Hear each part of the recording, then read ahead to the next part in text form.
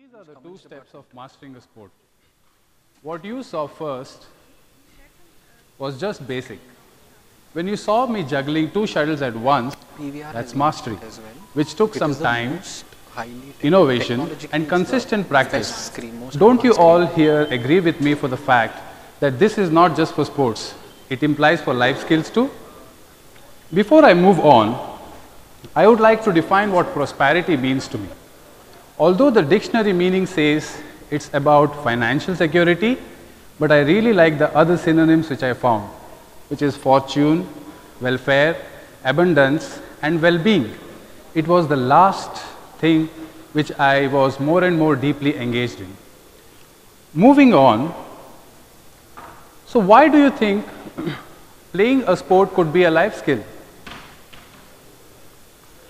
There are over 600 skeletal muscles in a human body. An average person uses very few muscles efficiently on a day to day basis. This also means that the mental and physical health of that average person is on the lower side. A study from Kurukshetra University suggests that there is a significant increase in the levels of a mental and physical health of that people who play sports and those who don't. So now how many of you have played badminton here? Quite a lot of hands. So some facts about badminton. Badminton is the world's fastest racket sport and the second most played sport in the world. It requires quick reflexes and fast reactions and if played on a regular basis, you can keep your body and mind fit and agile. Let me give you my background. So I started playing this sport at the age of 12. When I started this pl- playing this sport, I went through a lot of coordination, timing and movement skills. For an average person, it takes around 6 months or more to get used to these techniques. Badminton changed me in many ways. It disciplined me, it taught me how to manage time and made me focused and stay focused and committed to the process. As a young player, I traveled to different parts of the cities. It helped me to become an extrovert and I learned to converse in six different languages. In retrospection, I realized that these skills not only helped to improve my game but also shaped me as a person. After participating in different levels of competition, one question popped up in my mind. How will I jump from national to international levels? What does it really take to become a top player? You see, a top level player is coached differently. They are trained to tactically strategize their every single move in an every single rally. A powerful smash can come at a speed of 400 kilometers per hour. The player must anticipate the incoming shuttle, defend the smash, and place it in a position which becomes very difficult for the opponent to reciprocate. And all this is to be done in a matter of a split second. For me, this split second decision making skill is a true mark of innovation. Two decades ago, a powerful smash used to be considered as end of the rally. A smash which is placed on the sidelines, technically players could not receive that. But today's sport is something like this. Let us watch a video.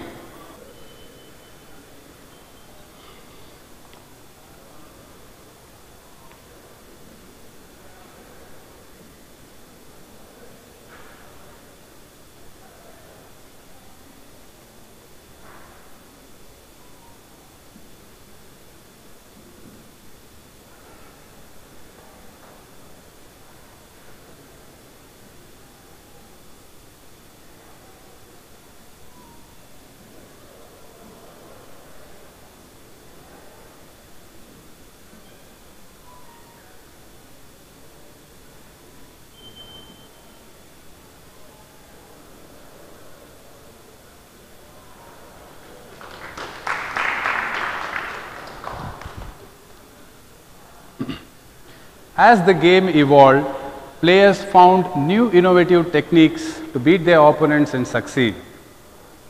Back at my academy, a day is reserved in a week to be innovative. Players have their free space to be creative. On one such innovation day, a nine year old kid wanted to feed, wanted to multi feed an advanced level player who was much elder to him. Those who don't know what multi feed is, multi feeding is a technique which a coach or a trainer uses tens of shuttles in his hand and constantly hit at a speed to improve the player's speed and movements on court. Let us watch how this kid achieved that.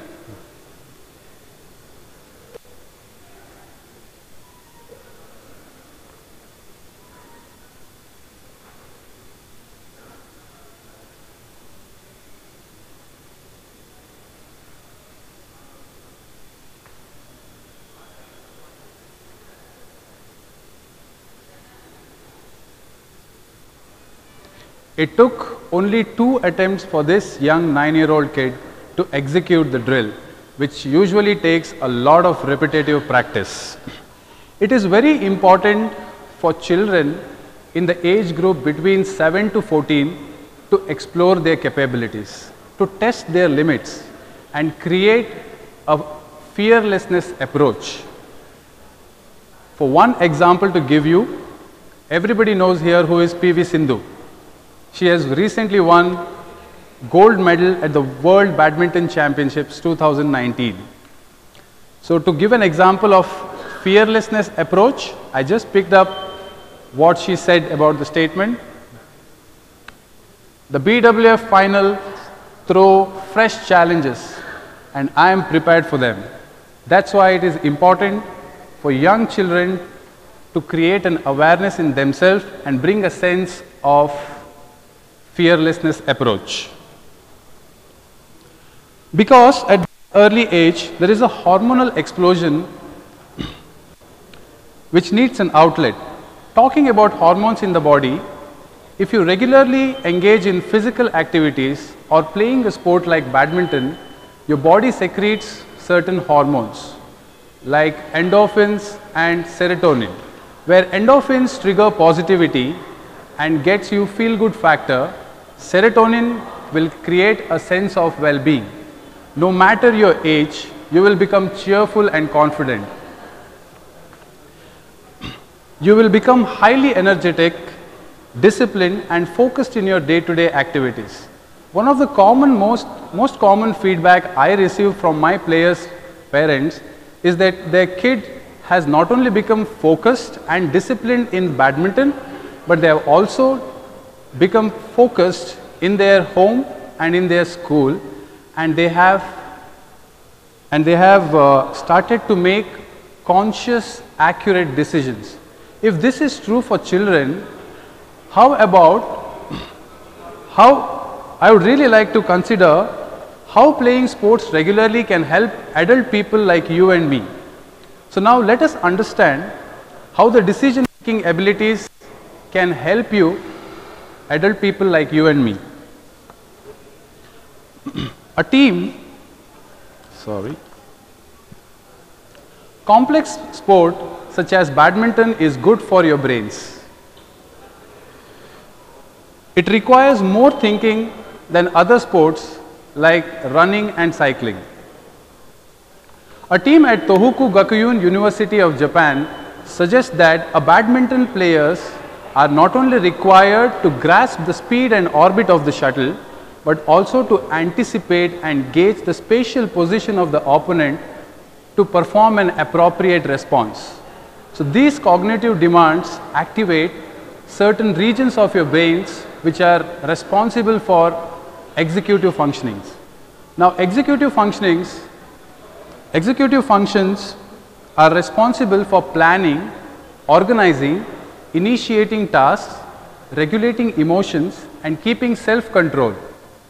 When you constantly engage in these sort of exercises, our brain starts to develop a cognitive performance and our decision making agility enhances. Over a period of time, our decision making ability improves and probability of our positive outcome increases. And for a sport like in badminton, it's all in split second. Now, uh, now I want you all to imagine in your real life scenario, sometimes one single decision can change your entire course of your life. Life doesn't come with a user manual or a demo video. Although our body is the only permanent place we live until the end, it's better we utilize this great combination as a gift. When you learn the art of innovation, be creative and make smarter decisions in your life, I think this is when you start to lead a prosperous life. What's your choice?